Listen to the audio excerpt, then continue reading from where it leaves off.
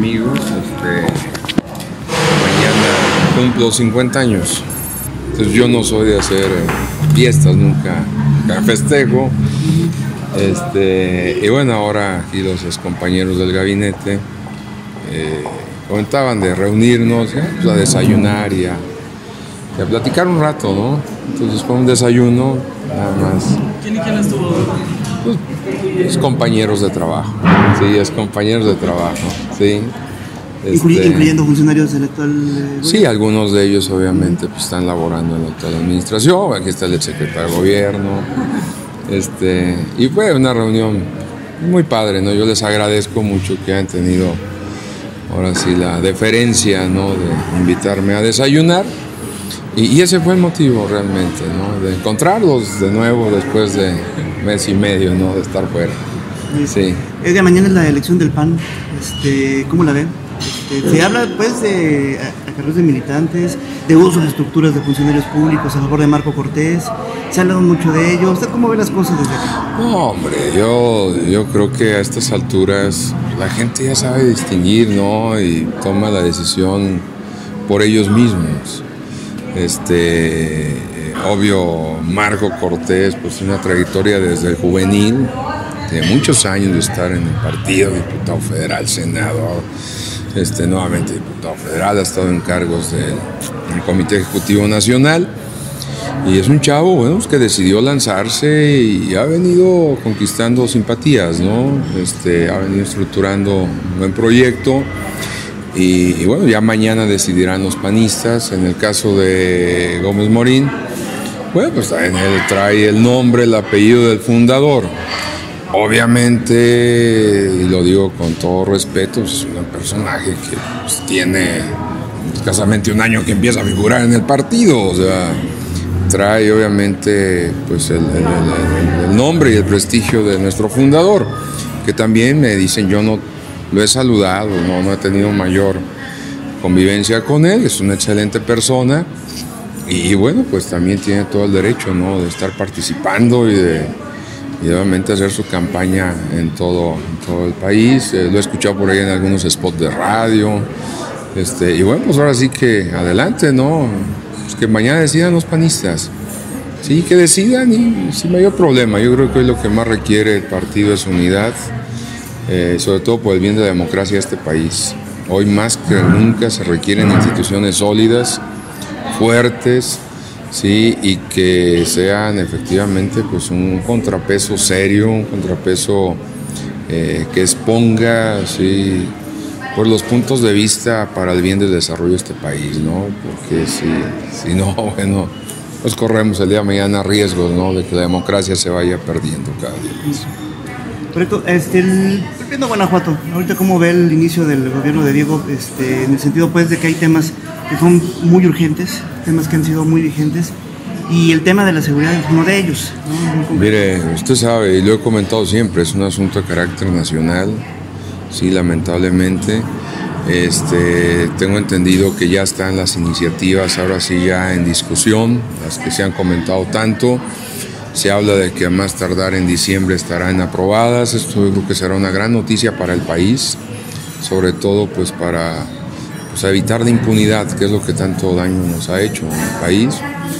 Este, vendrá un cambio de gobierno, vendrá la revisión de instituciones, caso concreto Pemex.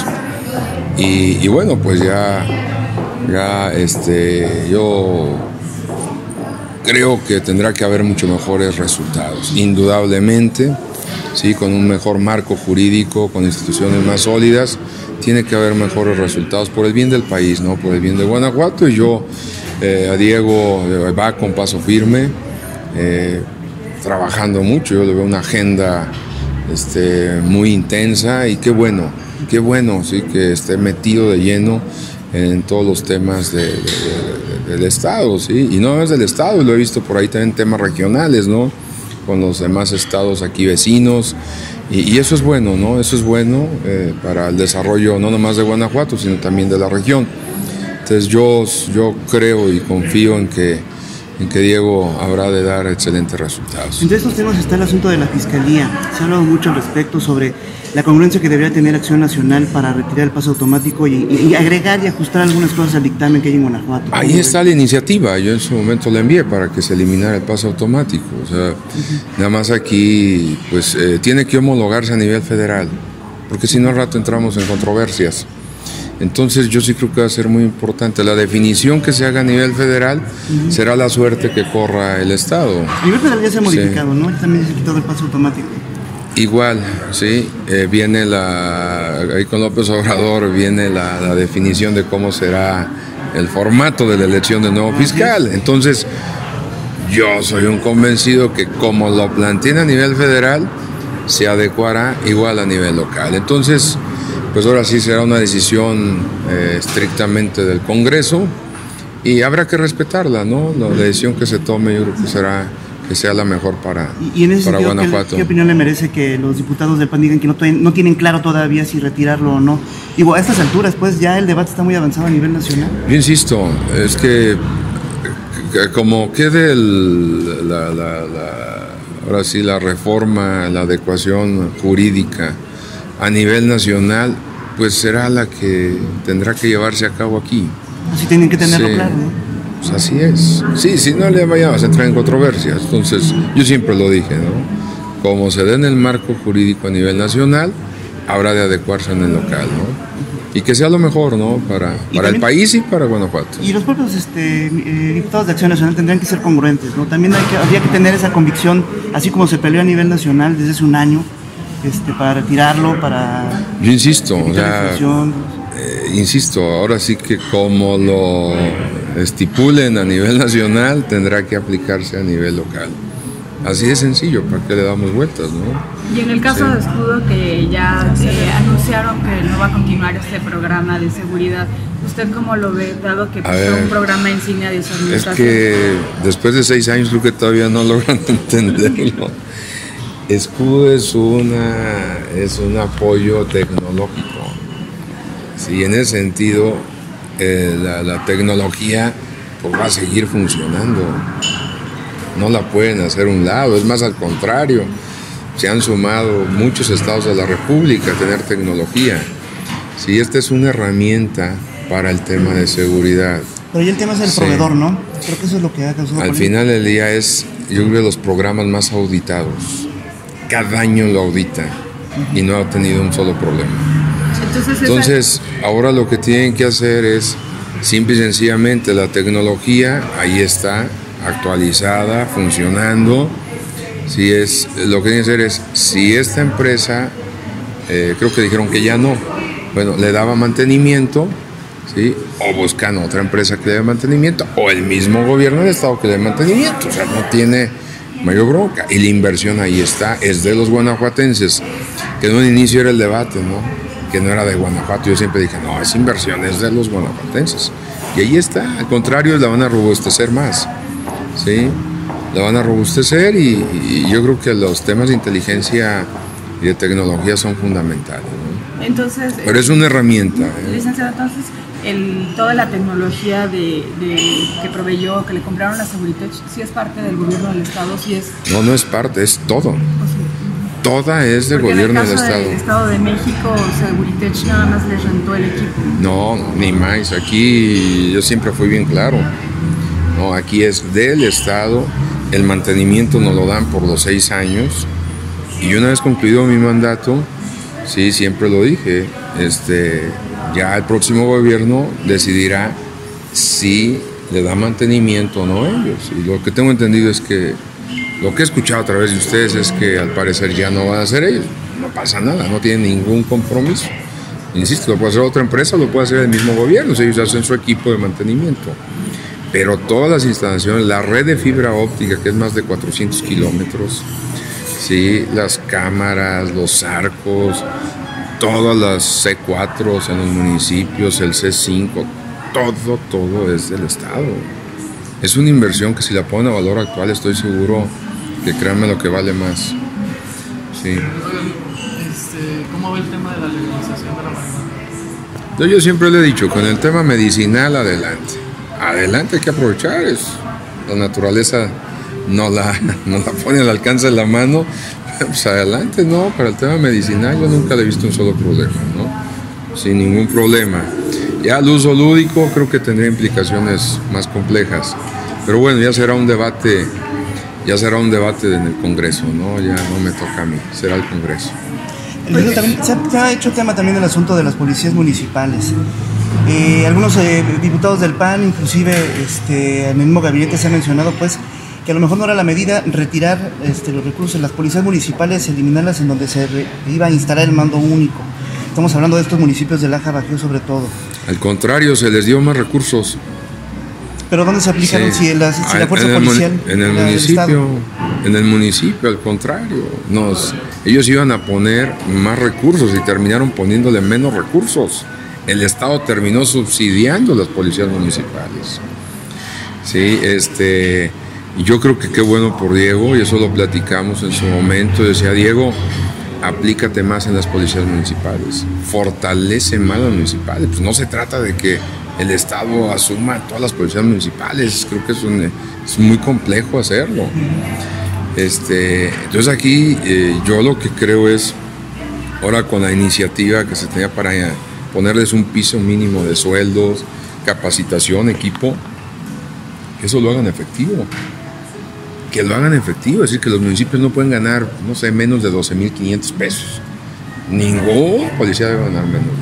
Que tenga que tener su cobertura de seguros, que tenga que estar bien equipados. Pues eso tienes que vigilar que los municipios lo cumplan. Municipios que a lo mejor tenían solamente un 60% de policías contratados, tienen que tener su 100% de policías contratados, el recurso ahí lo tienen. Yo sí creo que en el ánimo pues eh, es eh, siempre fortalecer las policías municipales fortalecerla, ¿no? Y hay algunos que no les alcanza. Digo, Atarjea, Jichú, yo recuerdo varios de estos municipios, Victoria, donde no de ahorita, ya de muchos años, la policía estatal es la que lleva a cabo el servicio de seguridad, ¿no? Porque son muy pequeñitos, no, no, no les alcanza para ello. Pero yo sí creo que fortalecer la, las policías municipales eh, es importante, pero los primeros convencidos tienen que ser los municipios dos municipios. Entonces ahí me parece bien que va con un programa de apoyo, ¿sí? para fortalecerlos, excelente. Nosotros les ayudamos con patrullas, eh, equipamiento, este, siempre hubo toda la disposición. Pero yo insisto, lo más importante es que no haya impunidad. Y la ley dejaba no lagunas, sino mares de impunidad. y yo creo que es importante sí que se ajuste la norma a nuestra realidad en el país. Correcto. ¿Seguirá muy activo aquí en Guanajuato usted? No, yo... Para allá se va a descansar? ¿Qué pues va a hacer? ¿Qué viene para usted? Yo porque me los encontré aquí, ¿no? no, no, no, no, eso, yo, yo, tranquilo. ¿Tendrá actividad pública? ¿Estará descansando? No, yo estoy con mi familia, estoy en mi rancho, estoy en mis actividades. No, yo buscar participar en el partido. No, yo siempre se los dije, yo no soy un aferrado al poder, jamás, tengo claridad. Me tocó servir en un tiempo, se acaba y adiós a lo que sigue. Te pregunto esto por la lectura que, que hubo mucho, ¿no? De la permanencia de varios funcionarios en el gabinete de Diego Sinue se hablaba de que si usted iba a estar atrás de, Diego, que si iba a estar marcando una cierta línea. Yo a Diego, este, y la verdad lo respeto y lo estimo mucho a Diego y, de corazón le deseo todo lo mejor por el bien de nuestro Estado.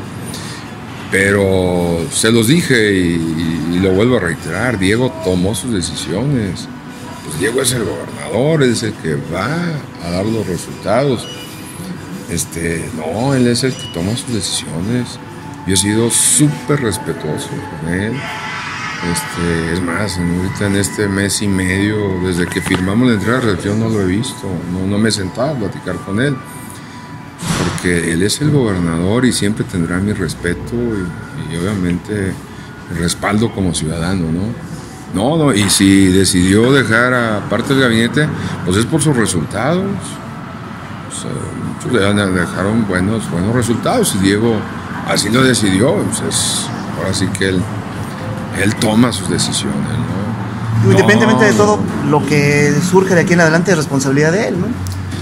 y de todos, como guanajuatenses, y me sumo como ciudadano. ¿eh? La responsabilidad es de todos. Sí, el gobierno lo hacemos todos. Sí. Y ahorita mi responsabilidad son mis hijos, mi familia, pero también no descuido el entorno social. Si puedo ayudar algo en mi sociedad, ahí a los mis prójimos, a los vecinos, si puedo hacer algo por ellos, lo hago con gusto. Sí, hay que hacerlo. Sí, en México solamente dos de cada diez ciudadanos participan en organizaciones sin fines de lucro, ¿sí? para apoyar en el servicio a los demás. Y usted va a Europa, va a Estados Unidos, a Canadá y es lo contrario. Ocho de cada diez ciudadanos se suman en tareas sociales. O sea, ¿se dedicaría a, ONGs? No, no, no, es descabellado, está viendo ahí. Digo, yo ahí tengo mi pueblo, apoya mucho, hay unas colonias ahí este, que están amoladonas. Apoyan Entonces ahí, ¿para qué, ando, ¿para qué andas yendo a otros lados? Ayudar a tu gente cercana, ¿no? Si tiene actividad este, pública, ¿sería a través de organizaciones sociales? Sí, a lo mejor ayudar, ¿no? Ayudar a la gente. Pero tranquilo, no, yo ahí, bueno, en mi casa, en mi rancho, viviendo normal como siempre lo he hecho. Sí, no, sin mayor, mayor bronca. ¿De acuerdo? Eh,